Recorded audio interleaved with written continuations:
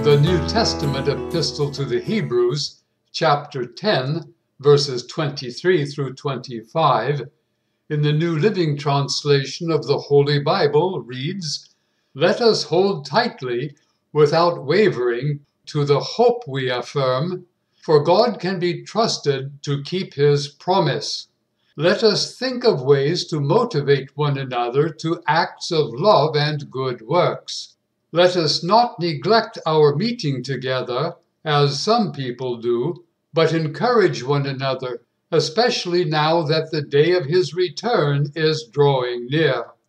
Clergymen cite the phrase, let us not neglect our meeting together, when they want to chide those who have stopped coming to church services.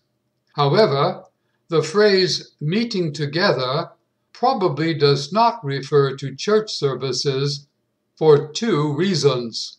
First, church services do not allow attenders opportunity, quote, to motivate one another to acts of love and good works, unquote, nor to encourage one another, since only the clergy are allowed to speak. Second, the original Greek word translated meeting together, episynagoge, was never used to refer to regular gatherings assemblies, or church services. Episynagoge, an unusual word, in secular Greek referred to a collection of items or money or to a cluster of stars. In the ancient Greek Bible, episynagoge occurs only three times, always referring to the Lord's coming.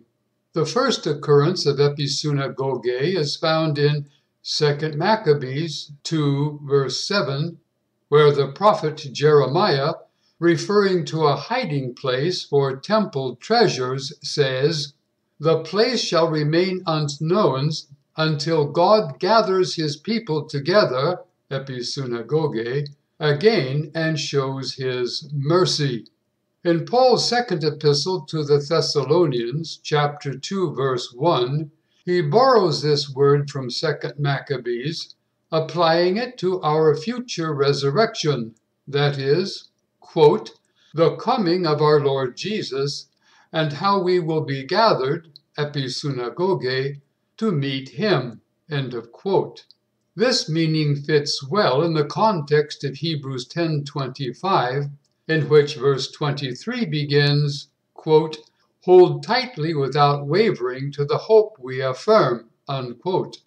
And verse 25 ends with, quote, the day of his return is drawing near, unquote.